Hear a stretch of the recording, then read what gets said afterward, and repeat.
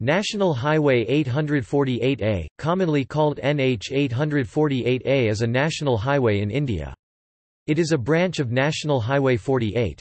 NH 848A traverses the states of Gujarat, Maharashtra and UT of Dadra Nagar Haveli.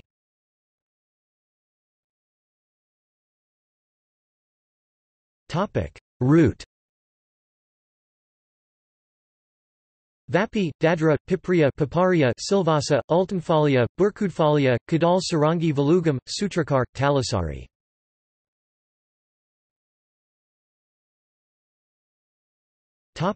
Junctions NH48 terminal near Vapi.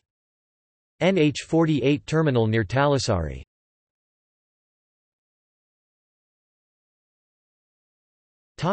See also. List of national highways in India. List of national highways in India by state